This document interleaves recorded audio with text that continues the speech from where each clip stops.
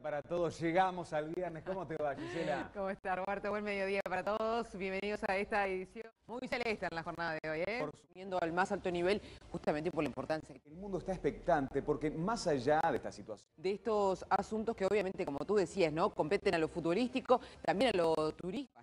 bueno, vamos a ver. Bien, vamos a hablar justamente de... eh, y bueno, hay que ultimar los detalles.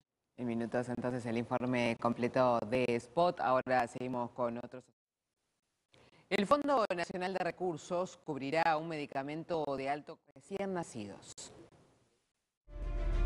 Continuamos con más información. La comisión investigadora, el año que viene, el MIDES reforzará los planes de seguimiento a los recién nacidos. El expresidente de Brasil, Lula da Dígalo con fuerza que lo estaba esperando. Buen mediodía para todos y bienvenidos a esta edición de Televía. El INJU celebró los 30 años de su creación y su director agradeció a quienes trabajaron para la institución.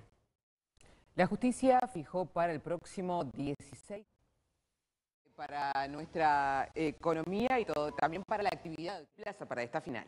Obviamente de este asunto en lo deportivo, pero ahora nos ocupamos en, en conflicto, incluso hubo una movilización en pausa. Sí, sí.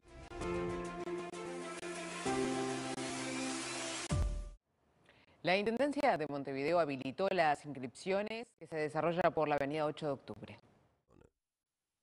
El secretario de Presidencia, Álvaro Delgado, cuestionó sectores productivos. El presidente del CODICEN prefirió no responder a las críticas que calificaron de insuficiente el ticket. Bien, bueno, vuelve Fede Sí. en un ratito con más. Bien, que la situación no se repita.